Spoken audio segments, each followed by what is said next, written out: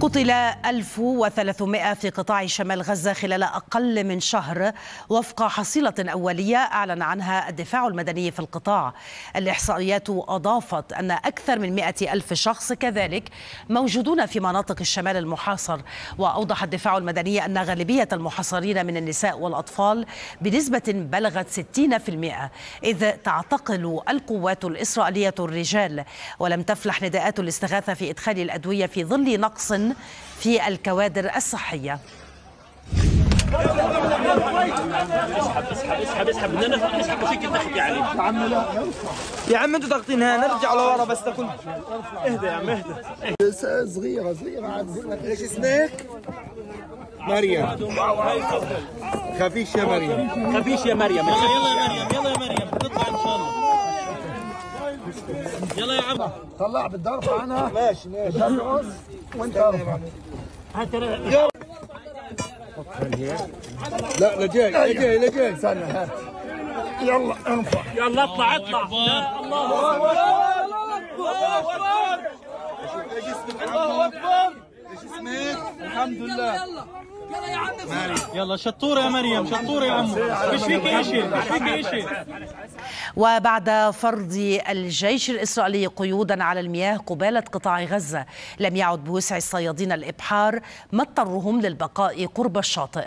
وهو ما دفع الصيادين لمحاولة صيد الأسماك من هناك في محاولة لتوفير قوت يومهم خاصة في ظل القيود المفروضة على إيصال المساعدات ويعد صيد الأسماك في قطاع غزة جزءا مهما من الحياة اليومية لكن الحرب طوت هذه الصفحة مثل غيرها. الحياة الصعبة اللي إحنا بنعيشها. الواحد بده يعيل عي- بيته وأسرته ولا في دخل ولا في راتب لا أنا موظف ولا عندي شغل لا أنا ولا أولادي.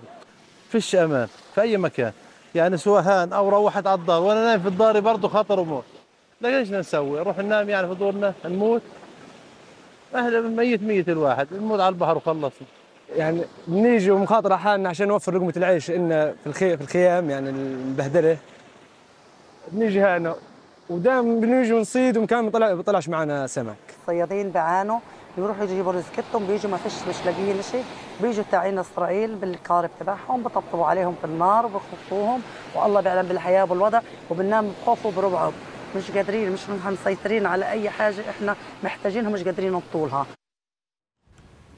من دير البلح وسط قطاع غزة. ينضم إلينا مراسل الحدث أسامة الكحلوت. مساء الخير أسامة. كنا نتحدث في المباشر السابق عن هذه الأوضاع للمحاصرين في شمال قطاع غزة والاستغاثة فيما يتعلق بالطواقم الطبية في هذا هذه المنطقة. آه، الجديد أيضا معك أسامة.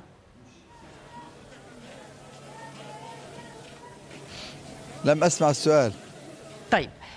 مرة أخرى أسامة الجديد معك في ظل آه، نقص الكوادر الطبية والأدوية في شمال قطاع غزة المحاصر حتى الآن وأيضا فيما يتعلق بأي تطورات أخرى.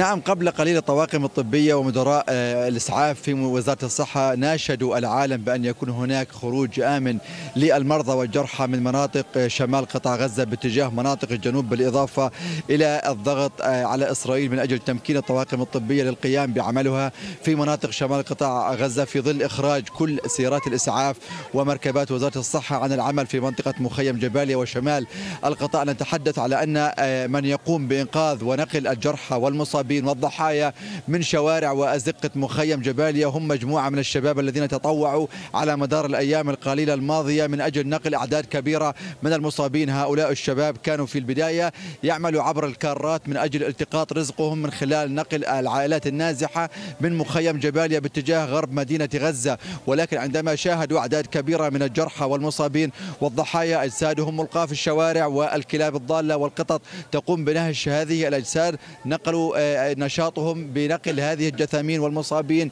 عبر الكرات ومشي على الأقدام وحملا على الأكتاف باتجاه مستشفى كمال عدوان أو باقي المستشفيات التي تسعى وتحاول جاهدة أن تبقى على قيد العمل والحياة في شمال قطاع غزة. نتحدث عن طبيب واحد فقط يعمل في كل مستشفى من مستشفيات شمال قطاع الوضع كارثي في مخيم جباليا وفي منطقة بيت لاهية لأن هناك بالفعل السكان يواجهوا خطر الموت عطشا في مخيم جباليا وفي منطقة بيت لاهية في ظل منع الجيش الإسرائيلي إدخال الوقود لتشغيل محطات تحلية المياه ومحطات أيضا ضخ المياه الموجودة في مخيم جباليا. الجيش الإسرائيلي يسيطر بشكل كامل الآن كليا على منطقة مخيم جباليا سواء كان بالجنود والمشاة والمدرعات وطائرات الكواد كابتر التي باتت تلاحق عشرات من هذه الطائرات تلاحق السكان وتقتل من كل من يحاول التحرك من منزله.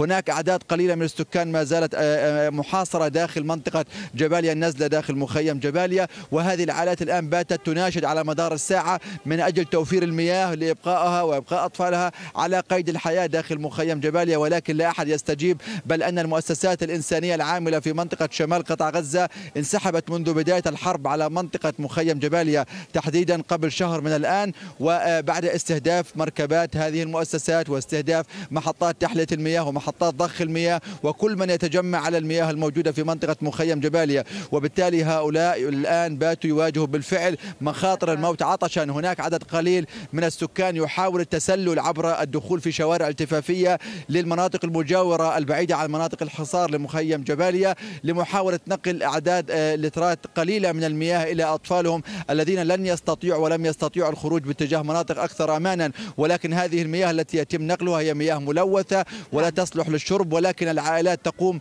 بعملية غلي لهذه المياه التي تصلهم من أجل إبقاء أطفالها على قيد الحياة من أجل تخفيف حدة التلوث داخل هذه الجالونات من المياه ويتم شرب هذه المياه. هذه المياه لا تكفي لكل هذه العائلات ولكن فقط لتسد رمق الأطفال والعائلات لإبقائها على قيد الحياة. الجميع هناك داخل مخيم جباليا يموت ببطء في ظل انعدام كل مقومات الحياة وحتى من يصاب قد يكون يلفظ أنفاسه الأخيرة داخل منزله أو في الشوارع. على نقل صورة هذه الأوضاع في القطاع من دير البلح وسط قطاع غزة. كنت معنا مراسل الحدث أسامة الكحلوت. شكرا جزيلا لك